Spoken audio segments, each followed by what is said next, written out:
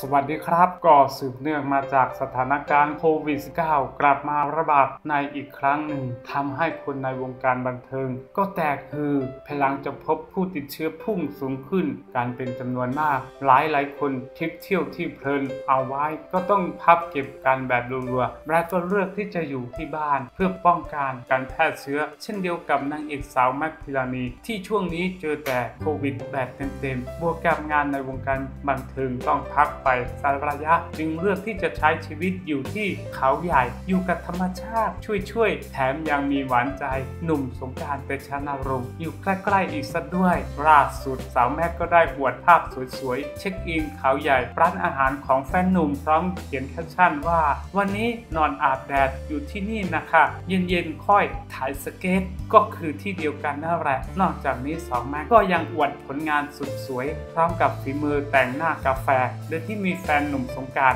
คอยเทนเองกับมือ แถมยังมีช็อตหวาน หวานโมเมนต์คู่ออกมาสื่ออีกด้วยนะครับ